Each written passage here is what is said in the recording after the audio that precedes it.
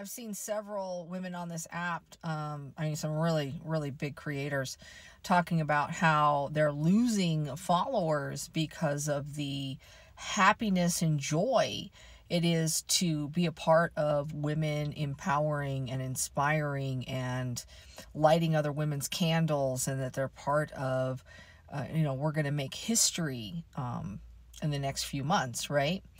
And it's um, i think it's only fair and i'm not going to gatekeep um, the women that battle on here with me when we tussle um, you know because they're they're guarding the the weaker men. They were trained to do that i would know from personal experience. And um, it just reminded me of wait till you start aging out what they consider old and you're going to hear word you're going to hear things like i should trade you in for two 20 year olds what happened what happened to the cooking the cleaning and the on demand um, what else do they say to you? Um, you know once you start showing some wrinkles and things aren't sitting where they used to be and they come for you.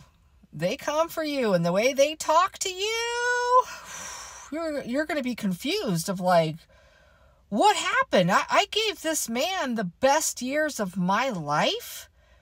Like all the things I gave up and now this is what this is how I get talked to? And we're like I'm like this is what's coming for you. This is about the woman a woman's right to live however she wants to, how she sees fit. Married, partnered up, um, part of the LGBTQ plus IA community. I mean, however a woman wants to live, this is the way it's going to be. You sure? You sure you don't want to keep following women who have your best interest at heart?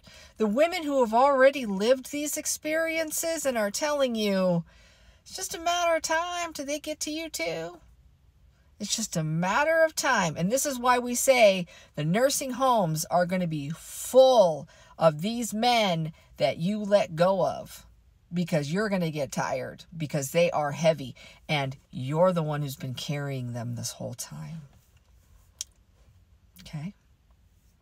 Okay. Just wanted to share that with you.